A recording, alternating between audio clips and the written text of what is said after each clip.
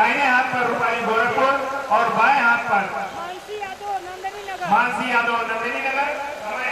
समय चार मिनट। समय चार मिनट। हमारे कोच ने बता दिया है इनाम इस पर दो हज़ार रुपए का है।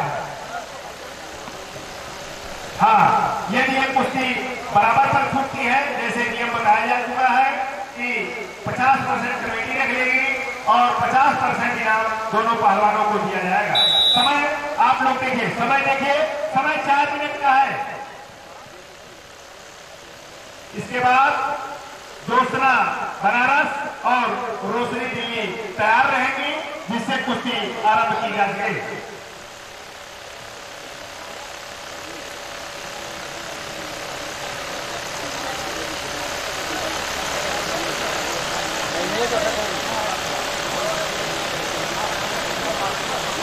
हाँ देखिए, कुश्ती बहुत अच्छी हो रही है।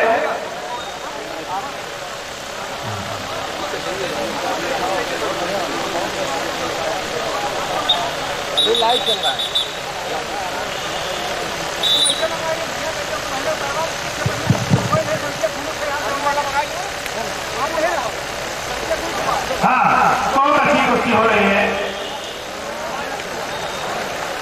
हो गई।